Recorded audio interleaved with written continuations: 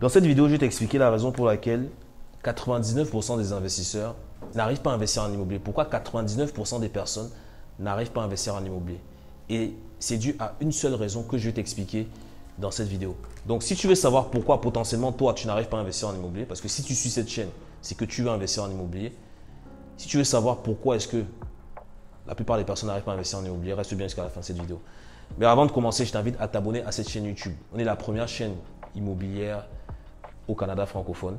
Et aujourd'hui, on est là vraiment pour t'accompagner. On a près de 600 vidéos en ligne qui te parlent d'investissement immobilier, de mindset, de finances personnelles, d'entrepreneuriat, etc. Donc, abonne-toi à cette chaîne.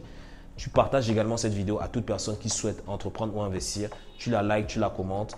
Et voilà. Et surtout, reste bien jusqu'à la fin de cette vidéo. Alors, on va partir d'un constat très simple. On va partir d'un constat très simple, c'est que aujourd'hui, ce qui crée les opportunités, c'est l'accès au financement. Je le répète, ce qui crée les opportunités, c'est l'accès au financement. Aujourd'hui, tout le monde gagne sa vie de telle et telle manière. Ça peut être via l'entrepreneuriat, ça peut être via l'emploi. Il y a même des personnes qui font des choses un peu illégales, on va dire. Mais bon, on ne parlera pas de ça dans cette vidéo. Mais c'est pour te dire que forcément, aujourd'hui, si tu te loges, si tu manges, si tu consommes des produits, c'est parce que tu as une source de revenus. Et cette source de revenus-là, c'est le moteur qui va te permettre également d'investir dans différentes choses. Ça peut être dans l'immobilier, ça peut être dans des projets, ça peut être euh, dans plusieurs choses en fait. Mais malheureusement, des fois en fait, pour saisir des opportunités, il faut beaucoup plus de liquidité. Tu le vois aujourd'hui, le marché de l'immobilier, il évolue. C'est-à-dire les biens immobiliers coûtent, de plus en plus cher. Donc ça, ça prend de plus en plus d'argent, ça prend de plus en plus de mise de fonds, ça prend de plus en plus d'apports pour pouvoir investir en immobilier. Et moi, j'aimerais te poser une question aujourd'hui. C'est la question que je pose à tous les participants qu'on accompagne lors de nos différentes saisons d'immobilier Québec. C'est combien ça te prendrait aujourd'hui pour accumuler l'équivalent d'un an de salaire? Je te laisse un peu méditer là-dessus. Aujourd'hui, si tu gagnes par exemple 10, 20, 30 000, peu importe le montant, combien de temps ça te prendrait pour accumuler un an de salaire sur ton compte de banque? Et je peux te donner quelques réponses que j'ai obtenues lors de nos différentes conférences. Il y a des personnes, ça peut leur prendre 2 ans, 3 ans, 10 ans, 15 ans, j'ai même vu 30 ans. Tu imagines, ça veut dire que Quelqu'un qui veut investir en immobilier, qui veut par exemple mettre 30 000 dollars de côté, ça va lui prendre 10 ans avant d'avoir ce montant. Et c'est là où je veux en venir, c'est qu'aujourd'hui, être investisseur, les investisseurs, ils privilégient le temps par rapport à l'argent. Je m'explique, c'est que si tu veux investir, il faut aller vite. Et le moyen d'aller vite, c'est d'aller chercher l'argent où il se trouve en fait. Et c'est là où je veux en venir. Il y a une notion qui s'appelle le financement créatif. Le financement créatif, c'est de prendre l'argent que tu n'as pas encore et de l'utiliser dès à présent pour t'enrichir. J'appelle ça prendre l'argent du futur, le ramener dans le présent et passer à l'action dès maintenant. Ça veut dire quoi? Ça veut dire qu'aujourd'hui, tu as accès à du financement. Tu as accès à du financement pour potentiellement acheter une voiture. Tu as accès à du financement pour potentiellement financer des études. Tu as accès à du financement pour euh, faire n'importe quoi en fait. Et c'est contre-intuitif parce qu'aujourd'hui, si tu vas voir une banque, tu dis à une banque, prête-moi de l'argent pour investir, ils ne vont pas te prêter. C'est contre-intuitif. Parce que les banques, déjà, c'est les plus grands investisseurs. Donc, l'argent que tu gardes dans ton compte de banque, là où tu vois plein de zéros, tu te dis que l'argent est présent. En fait, l'argent n'est pas présent. Qu'est-ce que la banque fait? La banque prête ton argent à d'autres personnes qui investissent. Ou la banque elle-même fait de l'investissement avec ton propre argent. Donc, pourquoi ne pas inverser les rôles, en fait Et devenir toi-même, je ne vais pas dire ta propre banque, mais toi-même bénéficier d'argent d'autres personnes, d'argent provenant d'autres sources pour finalement passer à l'action. Parce qu'aujourd'hui, c'est très facile pour toi d'avoir l'équivalent d'un an de revenus sous forme de prêt. C'est très facile pour toi d'avoir l'équivalent de deux ans, voire trois ans de revenus sous forme de prêt. Donc ça te fait gagner du temps.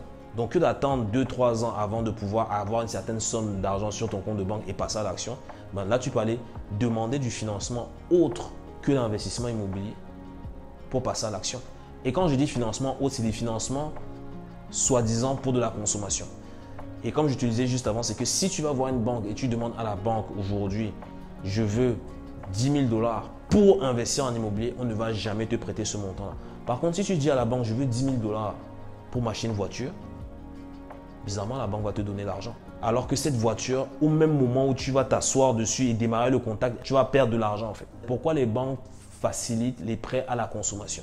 Moi, j'ai vu des personnes qui prennent des crédits pour voyager, des crédits pour s'acheter des vêtements. Tu vas t'acheter une chemise à 200, 300 dollars, tu vas transpirer dans ta chemise, ça va plus valoir le 200, 300 dollars, tu vois ce que je veux dire.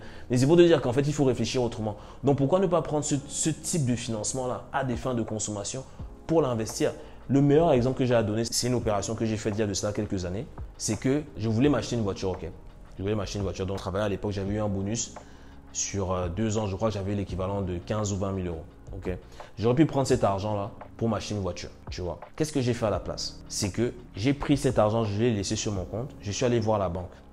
J'ai dit à la banque, j'aimerais m'acheter une voiture. Ok? J'avais l'argent sur mon compte. J'ai dit à la banque, prêtez-moi l'équivalent du montant que j'ai pour m'acheter une voiture. Ils ont dit pas de problème.